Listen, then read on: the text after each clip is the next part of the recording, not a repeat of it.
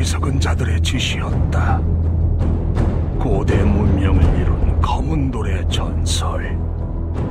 음흉한 사제들이 전설을 확인하기 위해 검은 돌의 흔적이 서려 있는 의지의 탑으로 찾아들었다.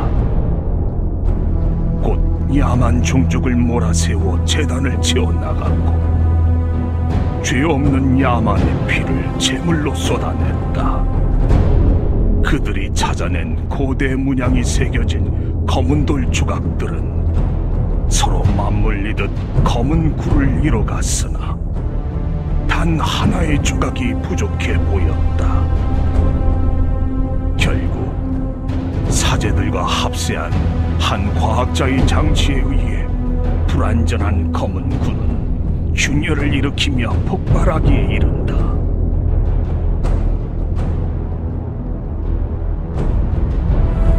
언제나 들뜬 분위기는 고마나루의 정겨운 풍경이었고 시장은 폭죽놀이와 아이들의 웃음소리로 가득 피어올랐다.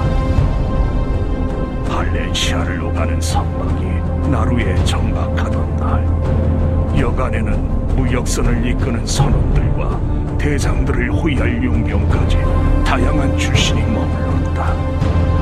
그리고 혼란의 또한 서서히 드리워졌다.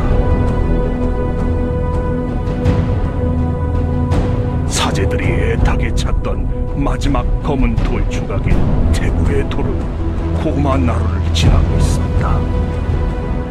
의지의 탑에서 솟구친 검은 기둥은 공명하듯 태고의 돌을 향해 달려들었고 검은 돌이 타들어가며 사람들이 사라지는 잔혹한 광경이 눈앞에 펼쳐졌다.